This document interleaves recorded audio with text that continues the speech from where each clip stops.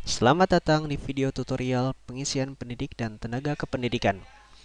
Langsung saja. Silakan klik tab PTK. Cara pengisian PTK sebenarnya hampir sama dengan cara pengisian peserta didik. Namun untuk PTK diubah rincian akan lebih banyak pengisian individual untuk PTK. Oke, kita ke teknis pengisian. Pertama, klik tombol tambah maka akan muncul isian utama. Silakan diisi.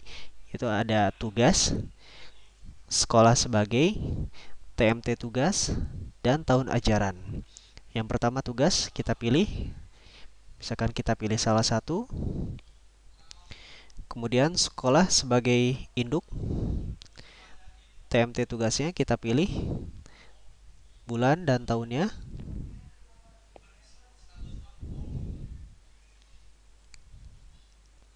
klik OK kemudian kita klik lagi.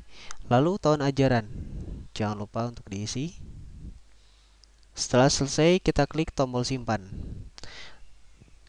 Telah dijelaskan sebelumnya bahwa flag merah adalah pemberitahuan bahwa data ini baru dan belum tersimpan.